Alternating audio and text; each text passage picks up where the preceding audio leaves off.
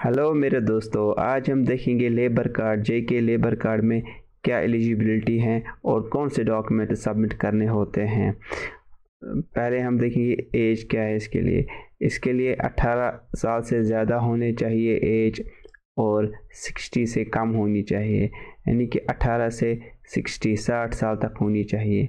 और engagement in any building or other construction work for not less than 90 days during the preceding 12 months. इसका मतलब है, उसने कम से कम 90 डेज़ का काम किया होना चाहिए एक साल के अंदर अंदर कंस्ट्रक्शन वर्क में। और जो इसका जो रजिस्ट्रेशन है, वो रिन्यू करना पड़ता है साल इसको रिन्यू करना होता है। और आप देखेंगे डॉक्यूमेंट्स क्या ज़रूरत है इसके लिए। इसके लिए डॉक्यूमेंट्स होते हैं ए सर्टिफिकेट होती है। ए सर्टिफिकेट स्कूल की होती है एट्थ की भी चलती है नाइन्थ भी, और जो टेंथ और इसके लिए वो भी डॉक्यूमेंट्स उसमें अपलोड कर सकते हो।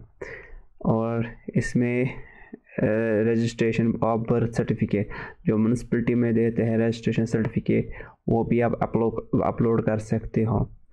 और इफ़ बोथ अनअवेलेबल अगर आपके पास स्कूल की भी नहीं है या म्यूनसिपलिटी की भी डेट ऑफ़ बर्थ नहीं है तो आप certificate issued by district medical board इसको बोलते हैं हम सीएमओ आप सीएमओ भी सीएमओ ऑफ़िस भी जा सकते हो, वहाँ पे एज सर्टिफिकेट बनवा सकते हो।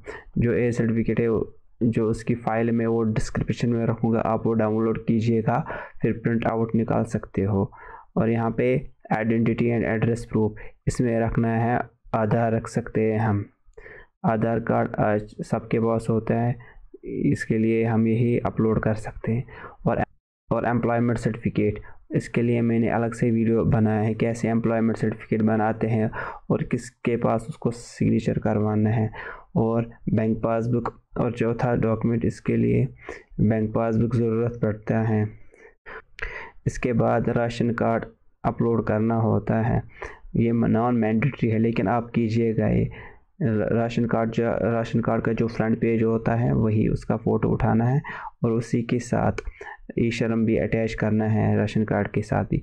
और इसके लिए फ़ोटो और सिग्नेचर अगर सिग्नेचर नहीं करता होगा लेबर तो वो थम भी कर सकता है, फिर अपलोड कर सकते हैं। जो डॉक्यूमेंट्स मैंने बोले हैं, वो यहीं पे अपलोड करने होते हैं, इसी फॉर्म में। एज सर्टिफिकेट यहाँ पे अपलोड करना होता है। एम्प्लॉयमेंट सर्टिफिकेट यहाँ पे अपलोड करना होता है। और जो राशन कार्ड है वही यहाँ पे अपलोड करना होता है। और राशन कार्ड के साथ ई शर्म भी अटैच कीजिएगा यहीं पे। और यहाँ पे बैंक पासबुक उसको फ्रंट साइड पे फ़ोटो उठाना है, वो यहीं पे करना है अपलोड और आइडेंटिटी सर्टिफिकेट यहाँ पे सर्टिफिकेट अपलोड करना होता है आइडेंटिटी की वो है आधार कार्ड। फ्रंट और बैक जो आधार है, उसको अपलोड करना है, एक ही फ़ाइल बनानी है। और यहाँ और यहाँ पे एड्रेस प्रूफ सर्टिफिकेट यहाँ पे भी आप आधार अपलोड कीजिएगा।